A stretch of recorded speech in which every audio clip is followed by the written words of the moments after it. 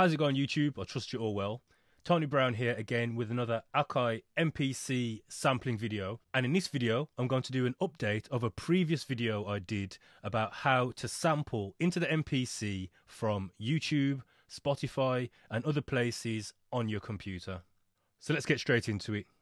So in the previous video, I showed how you can use a little app called Soundflower to get audio from your computer into your MPC. Now, I've done that video back in 2016 while using the older version of the MPC software. Well, moving forward, for a lot of people, Soundflower no longer works. So we found a alternative solution, which is I show you audio capture.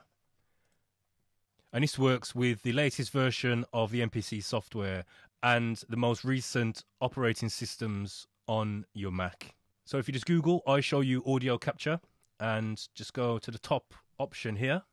And again, as with the other video, I'm not responsible for the software you download.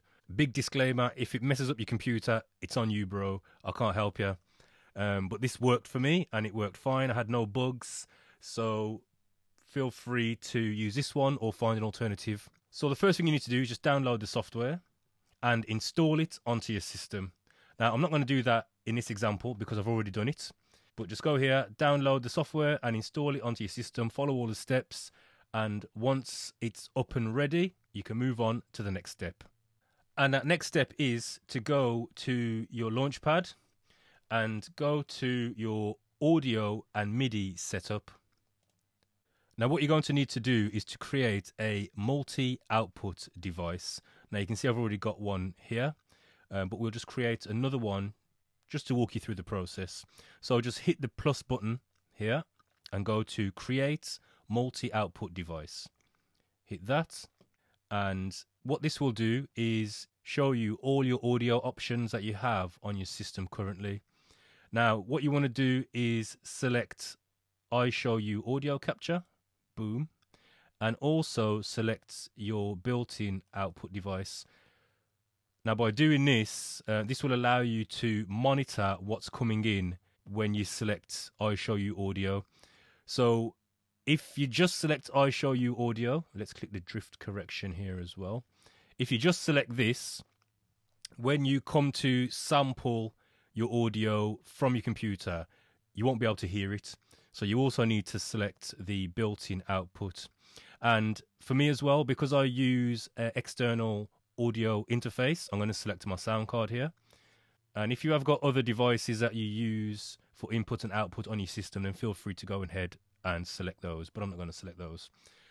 So there we go. We've got all our devices selected. Now we can move on to the next step. So the next step is to go to your Akai MPC preferences. And what you want to do here is to tell your MPC where to draw the audio from. So in this instance, we've selected our input as iShowU Audio Capture.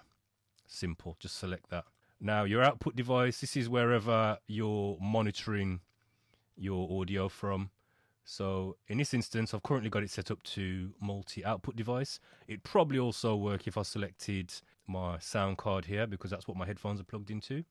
But in this instance, we're going to go to multi-output device and press OK. Now, another thing you're probably going to need to do is go to your audio preferences or your sound preferences if you're using a Mac and just select your output as again either your sound card or in this instance again I'm using multi-output device I'm going to select that and my input I'm going to select as iShowU Audio Capture so now we should be all set up and ready to go so let's just test this quickly. Let's pull up YouTube. There we go. And let's just hit play on a video here. How's it going, YouTube? I trust you're all well. So we can hear the audio playing here. MPC sampling video. Let's turn this and up. in this video, I just want to and there you show go. You, You can see can we've now got a set up your signal coming to in to, to the MPC. off your computer. So if I press from record here, like YouTube and other places like that. So let's get into it real quick. There's a few things you're going to need, and first and foremost. Okay, so we can see there we've got some audio. Let's just normalize it.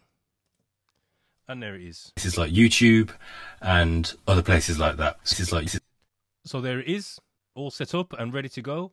And you're now able to sample from YouTube, Spotify, Apple Music, and other places on your computer where you have samples. So I hope you found that useful.